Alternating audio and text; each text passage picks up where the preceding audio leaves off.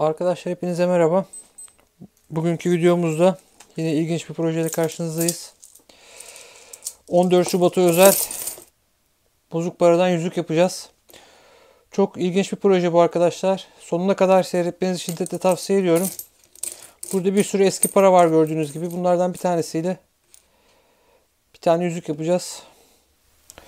Şu eski 2500 lirayı seçeceğim sanırım ben. Bakalım kaç yılından kalmaymış. 1992 yılından kalma bir para.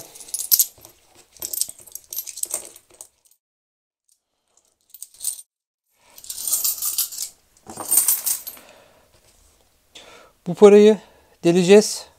Buradan bir tane pim geçireceğiz.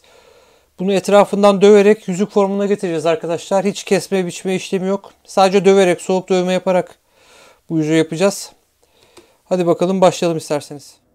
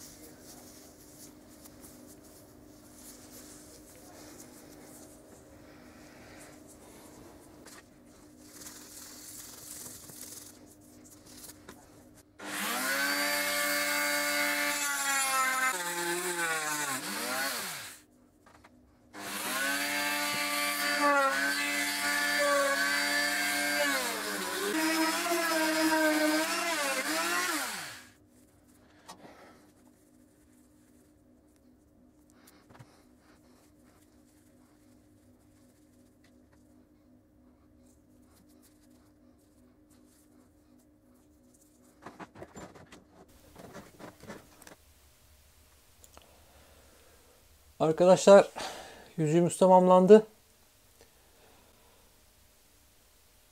Gördüğünüz gibi güzel bir yüzük oldu. Umarım siz de beğenmişsinizdir projemizi.